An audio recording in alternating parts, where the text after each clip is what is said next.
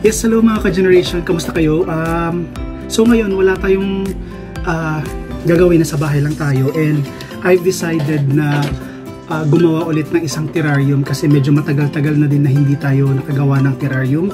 So again, para sa mga um, bago dito at ngayon lang po nakapanood ng ating channel, um, ang terrarium ay isang uh, pag-aalaga ng isang halaman na sa loob ng isang enclosure na bottle or pwede din siyang open terrarium or closed terrarium. So marami akong mga uh, bote ngayon and meron ako isang glass dito na um, actually matagal na to sa akin kaya lang uh, ngayon ko lang siya gagamitin. So we are going to use this um, enclosure um, para siyang maliit na aquarium pero ang ginawa ko is pinalagyan ko ng ganito type. So medyo ano lang yung hawakan niya, hindi lang siya ano but uh, it's okay na din para pantakip. Ito yung gagamitin natin ngayon, uh, lalagyan natin ito ng bulaklak or halaman. Ano yung mga kailangan natin gawin is of course yung mga gamit for panghalaman, pang terrarium. So meron ako dito mga tongs, ganyan, um, scissors, and of course, mga pangkalkal. Ayan, so pasensya na kayo mga kadyan, medyo mainit ngayon. Um, sobrang init talaga. Nasa, hindi ako nag, nag-aircon kasi medyo mahal yung kuryente. But ayun, naka-electric fan lang tayo kaya medyo um, pawis-pawis ako. So, pasensya na po kayo. Ayun, so kailangan din natin of course halaman. Meron akong halaman dito na matagal na um, it's a Fitonia maliit. And of course, meron tayong mga cuttings na nakuha natin dyan sa labas. And meron din tayong moss. Moss dito na ayan, gagamitin din natin. So, ayan, gawa na tayo. So, yung pinakaunang layer na gagawin natin is lalagyan natin siya ng mga bato. Ayan kahit anong stone. Haluan natin siya ng ibang stone. Yan.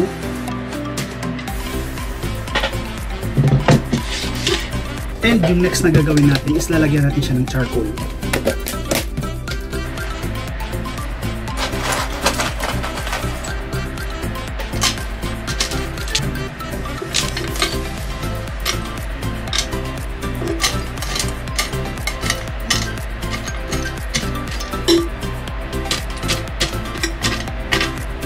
So ayan, nalagyan na natin siya ng charcoal. So stone and then charcoal. And then yung next na lalagay natin is lalagyan natin siya ng soil. So of course, yung mixed soil. Ayan. So may halong moss to um, sphagnum moss or mga dried leaves. And then yung mga dahon. Um, and then yung lupa.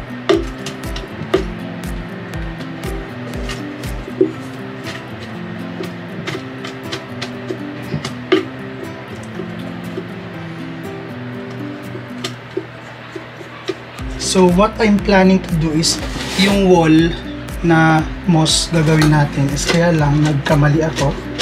So should be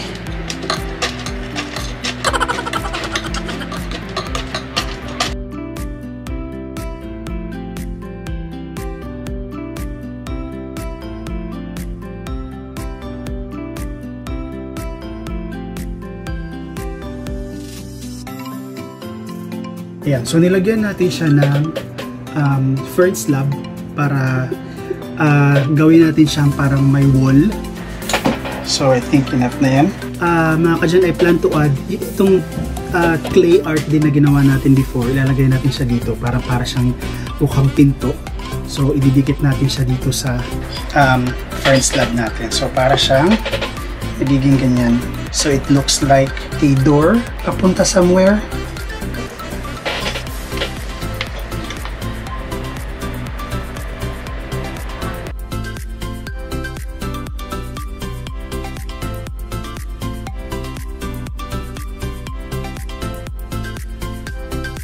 Ayan, so nadikit na natin. Ilalagay na natin yung um, design and then ilalagay na natin yung mga halaman. So, sprayhan muna natin ng water.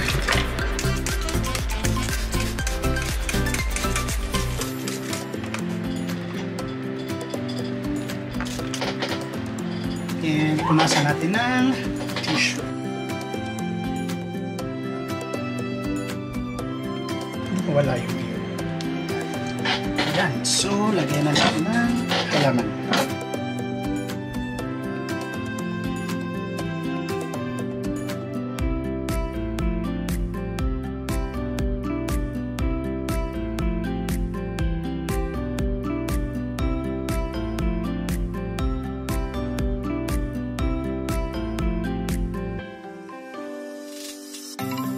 So,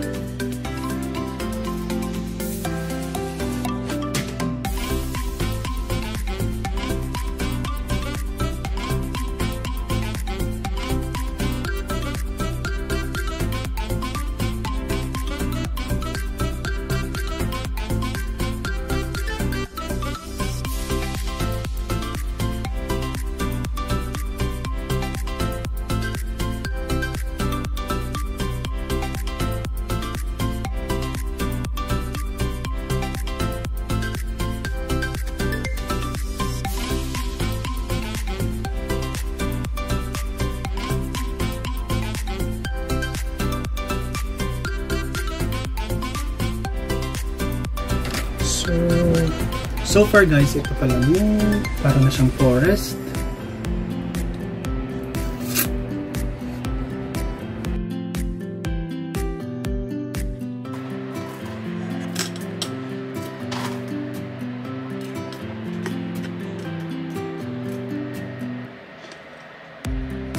So, ayan na.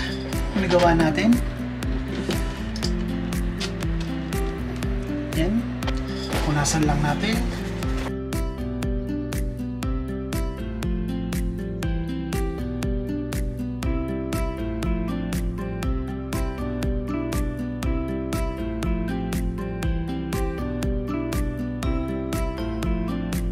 So, ayan na siya.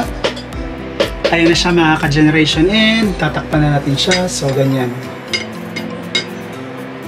Yan. Hindi natin siya bubuksan and hopefully uh, tutubo siya.